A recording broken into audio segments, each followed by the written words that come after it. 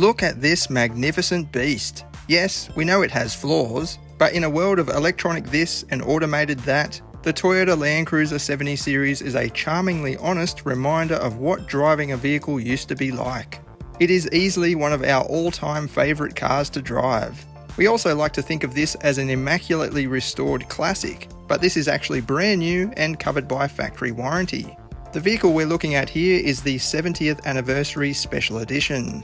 It's easy to spot thanks to the black front bumper bar and front wheel arch flares, and dark grey 16 inch alloy wheels. This single cab version offers impressive payload and towing capacities, but perhaps more important, the gross combination mass is a whopping 6,900 kilograms. Yep, just under 7 tonnes.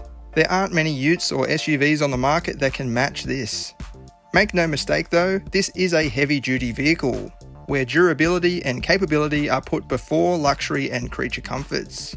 It uses a proper ladder frame platform, for example, with live axle suspension front and rear. The ground clearance is rated at 235mm, with a 33 degree approach angle and 27 degree departure angle. However, most of the low hanging components are either rock solid or covered by a thick protection plate. So if it doesn't quite clear obstacles, it pulverizes them and clears the path for you.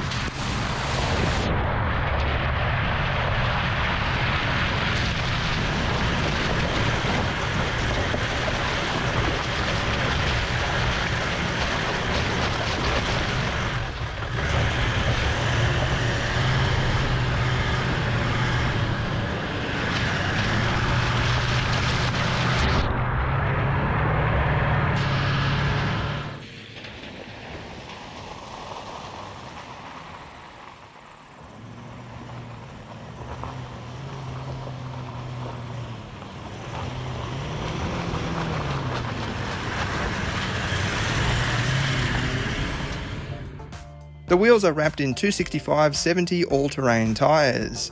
As you can imagine, grip on the dirt is great, even in boggy mud, with little compromise to on-road comfort and noise. However, more serious off-road fans will obviously be looking to upgrade these.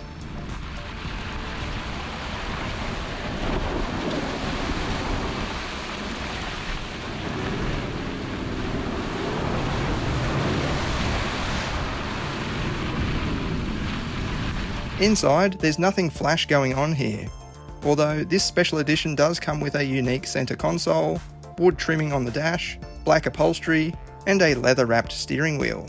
The centre console is a very handy addition, presenting a pair of cup holders and twin charging ports, as well as a storage box with two more charging ports. Passenger comfort is decent, and the driving position is better than what is presented in some of the popular dual cab diesel utes.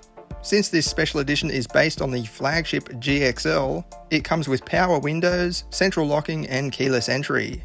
There's also a touchscreen media interface on the dash, running Toyota's older operating system. But hey, it does the job, and suits this style of vehicle. Unfortunately, a rear view camera is not standard on this single cab model, but an update coming later this year is bringing in a decent boost in safety. The GXL comes with carpet flooring, while the lower grades feature a more durable plastic setup, perfect for really mucky conditions. Even so, these thick rubber mats do a pretty good job of keeping the floor clean. Under the bonnet you'll find the trusty 4.5 litre turbo diesel V8. This is a single turbo version of the old twin turbo V8 found in the 200 series. It uses a very conservative tune for the sake of absolute reliability but tuners can unlock heaps more power and torque with relatively simple mods. Off-road, anything you throw at it is honestly a walk in the park. Well, that's how it seems. It strides through and over pretty much anything. Obviously, 0 to 100 performance is not this vehicle's top priority, but we still had fun testing it to see what it could do. This is what it goes like.